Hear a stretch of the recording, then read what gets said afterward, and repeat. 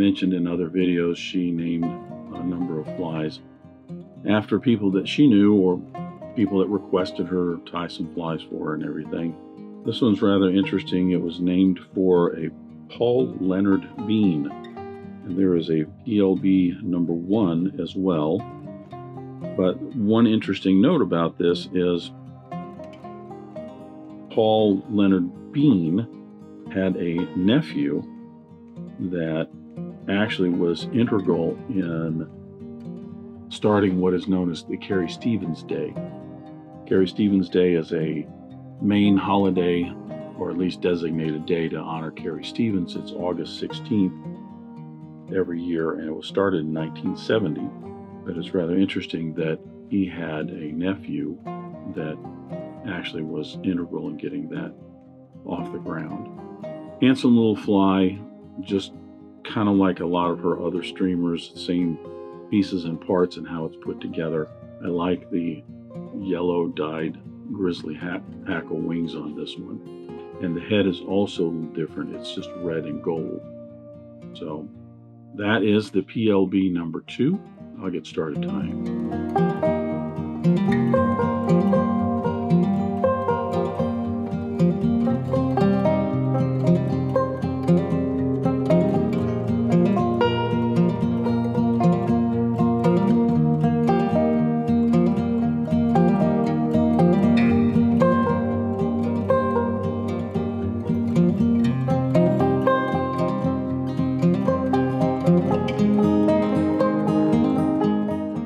The PLB number two with my hook and the vise. This is a Mustad R79 in a size 4. It's a 10x long streamer hook, according to Mustad. But this is essentially about the same size as a Partridge CS15 in a size 6. I find the Partridge CS15 to be a little bit longer and the wires just a little bit heavier, but these R79s are good hooks as well. So I'm going to start off with attaching my thread. To start off with, I'm using a white UTC 140 denier. Now, it is a tinsel body, so I could use a black, but actually the PLB number two does not have a black head in it, so it has a red and a gold head. But I'm going to go with this simply because I can move get from one end of the hook shank a little bit quicker uh, from one end to another. Now, there is a tip on this. The tip is silver tinsel. I'm going to use a Danville size 12 mylar silver and gold tinsel. I'm going to attach it right about here. I'm just maybe an eighth of an inch in front of the point of the hook. Attach this with the gold side up.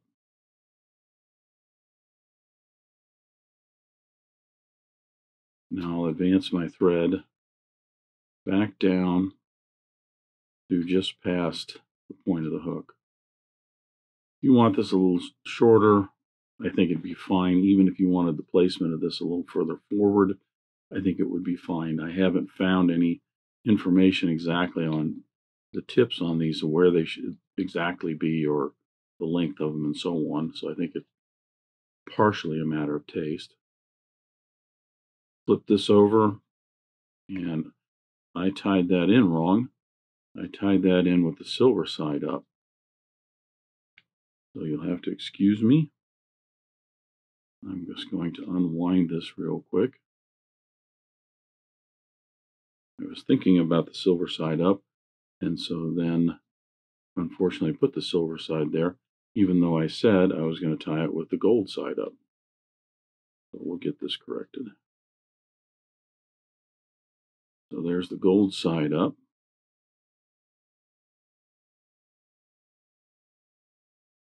Now I can advance my thread down and back up. This is just putting a little bit of a base of thread underneath it. Now I can apply tip.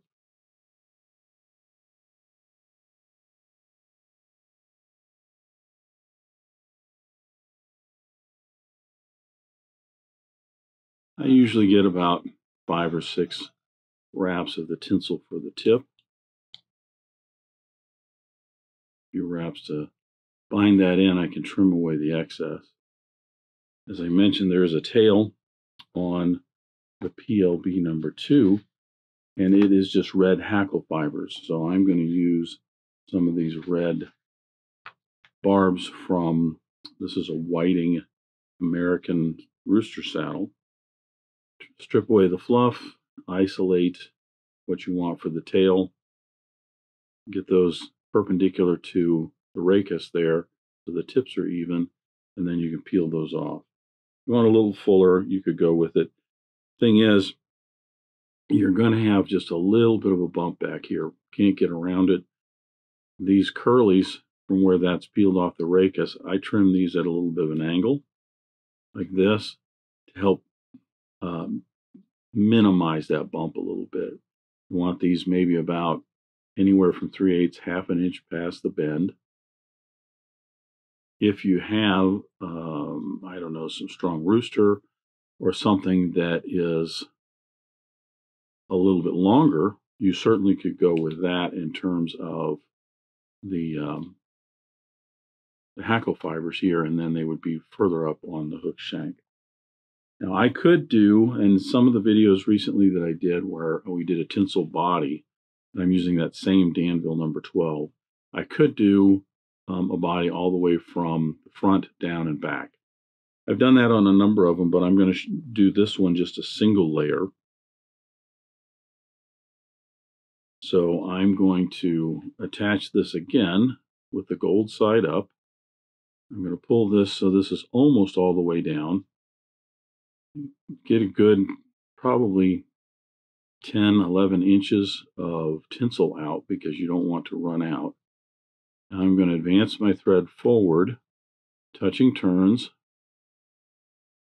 and that kind of stretches that bump out just a little bit. It smooths it out just a little. I'm going to go ahead and flatten my thread here just so that I can cover more of the hook with each turn.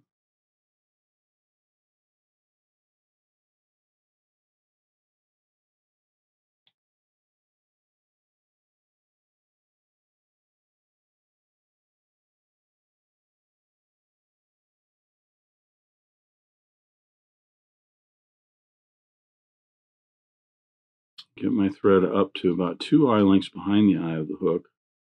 That's where we will anchor in the body. As I've done on others, I'm going to put some head cement along the hook shank under this thread. Going to help kind of bind that tinsel down just a little bit, make it a little bit more durable.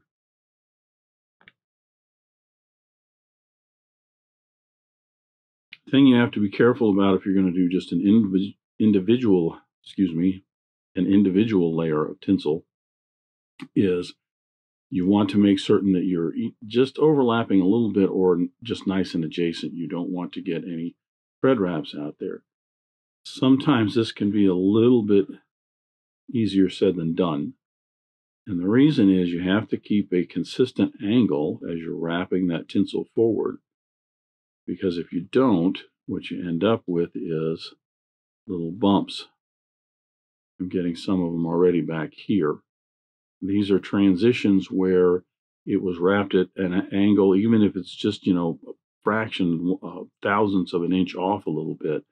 It just doesn't go in the same and you end up with these little bumps. Now, you can go back and unwrap those and try and put those in, you know, a little bit neater or just overlap those.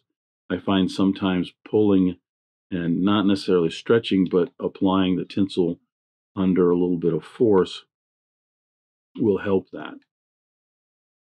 At the same time, keep in mind if this is a fishing fly, this is not going to affect it in terms of its fishability.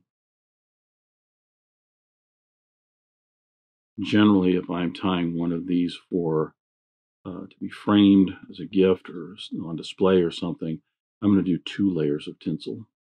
But again, as a fishing fly, you're you're trying to tie this. I don't want to say fairly quick, but you don't necessarily want to spend huge amount of time at the vise. Then just go ahead and do one and live with a few little bumps.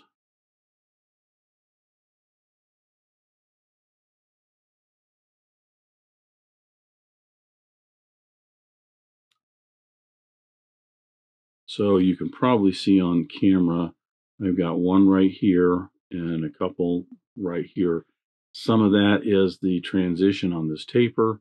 Notice once I got up to about here, all of them went in fairly smooth and even. Again, I'm not going to concern myself with that because this is going to be a fishing fly and it will suffice. So now I'm going to tie in, and uh, I should say I'm going to attach my thread for the head. The head, as I mentioned, is a red and gold. As far as gold thread goes, the only one that I have is this 12 euro thread. And this is a yellow, but it looks much more gold than it does yellow. The gold that I have, or I should say, the yellows that I have, like the UTC 140, as you can see, is definitely more yellow. So I'm going to use this for the gold. And I'm going to attach that right now so that I can put in the belly, the throat, and the wing.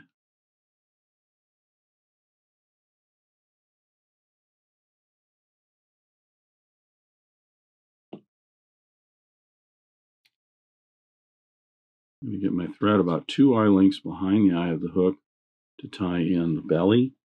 Belly on this is just white bucktail.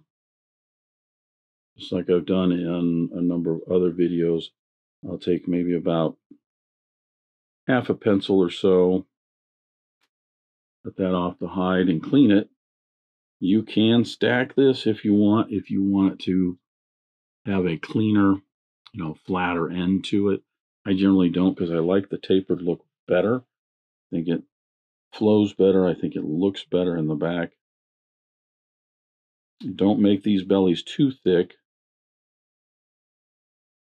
Once I get that cleaned up, I can take a look at those tips. And then any of these that are real long, I can either peel those out and match those back in. Any that are short, I can pull out just a little bit. Any that are busted and crooked, I can take out, or I can stretch those out just a little bit. Just wanting to get more or less all of them even here, but you'll have a nice bit of a taper to this in the water.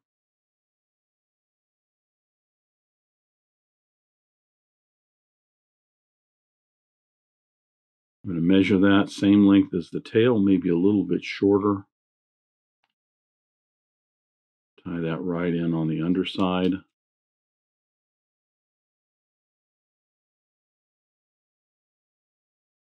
And I will trim away the excess.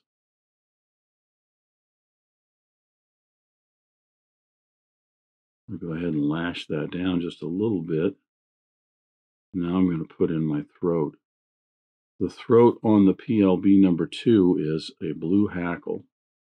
Now, something I wanted to point out on a number of the different flies that I've tied, the blue feathers that I had um, were a much darker blue, a much richer blue. I've got this Schlappen here. This is a uh, silver doctor blue the Wapsi company I know, they labels theirs the richer blue, something like this right here, generally gets labeled a uh, peacock blue. The lighter blue here, which this is a white feather that's dyed blue, not not that that matters. You could certainly have a darker color, but this is a called a silver doctor. I don't know that all the companies do that, but if you're wanting to get some that are a lighter color, in terms of the blue that you're going to tie in, then you might look to see if they have something called Silver Doctor Blue. And I'll start to tie that throat in.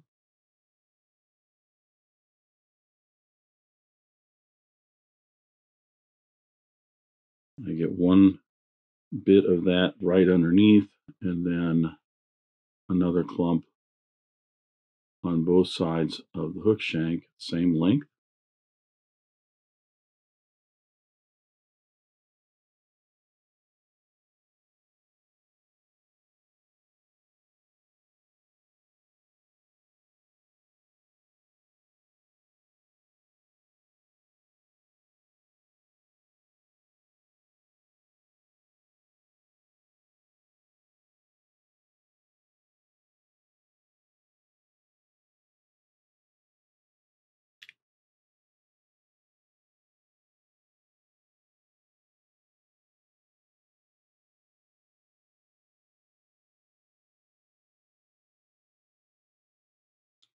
One thing I do want to note is I think in the last few videos I did, the heads on these were getting a little bit long because I was using a much thicker thread for it and it just kind of naturally occurred.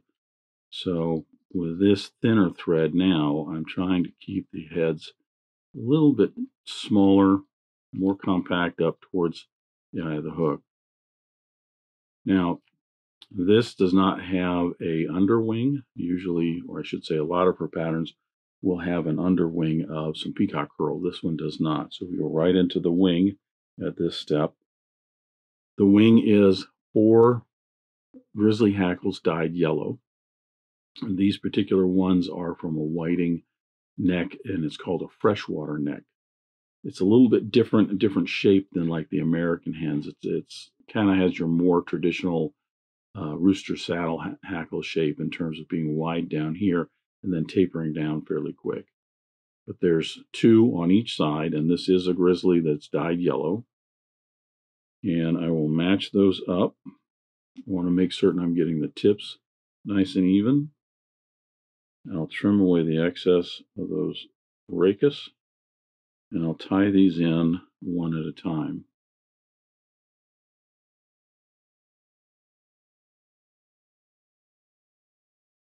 Still trying to make certain that I'm keeping right up near the eye of the hook so I have a smaller head on that.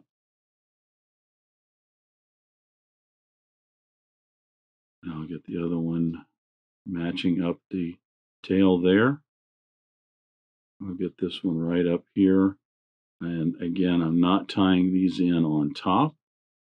If you can see this, I have the stem right here is kind of up in this upper uh, quadrant right here. It's not right on top, and this stem's here just over on the other, so that they they don't sit right up on top, and they'll actually ride down the sides of the fly a little bit more. With those in place, I'll secure those, and I'll smooth off the head.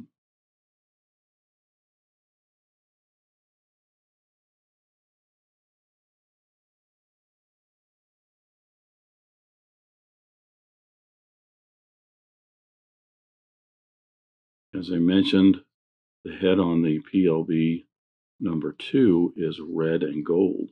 It is red followed by gold, meaning that it is red in the rear portion of the head. So that's part of the reason I started and was using this gold or yellow thread now, because the red is a darker color and it will mask over that gold.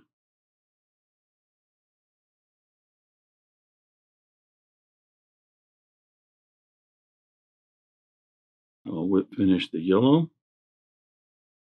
Should say the gold. It actually kind of turned out nice. This is a uh, this yellow matched up with the the hackles pretty well, so it turned out pretty nice. Now I will attach my red. I'm using a Danville 6 aught in red for the back portion. I think this is a little bit brighter color than the uni red Uni red tends to be just a little bit darker.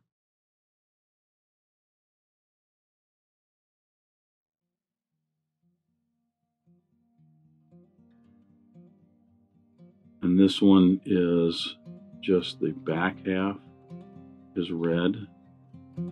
So we want to be a little bit careful in getting too many thread wraps in here.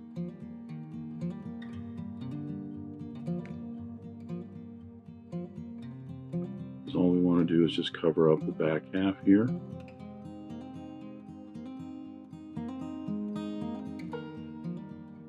My side looks good, but this side I have some thread wraps right here at the base of the head that I gotta get.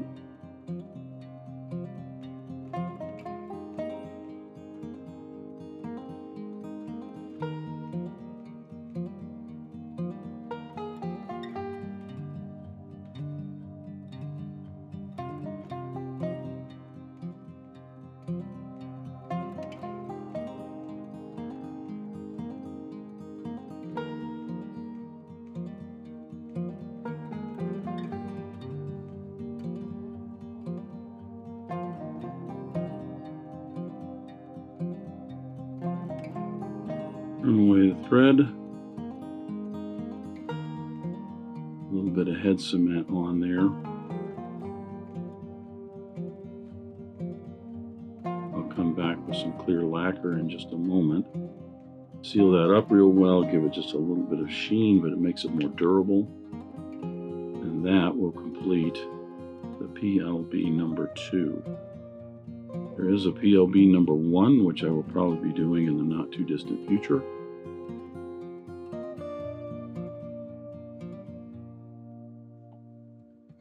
Handsome little fly. I like the grizzly hackle. Kind of surprised a lot of her her uh, flies don't have more grizzly hackles in them. But it might be fun to experiment with that for a little bit. But there you have it. That is the PLB number two by Carrie Stevens. Thanks for watching today. Thank you for joining me at the Vise today. I hope you learned a new pattern, at least a tip or trick here and there. If you'd like to help Dressed Irons, you can like, comment, share, subscribe, all those wonderful things for the video. You can also head out to dressedirons.com where you can buy flies, tools, stickers, and merch, or you can join a growing community over on Locals at the Dressed Irons Fly Tying Guild. You can also donate to Dressed Irons if you want through the link at the bottom of the description. I thank everybody for their ongoing support as it really does help the creation of these videos. What's important is to remember only fly tying. You're not having fun, you're doing it wrong.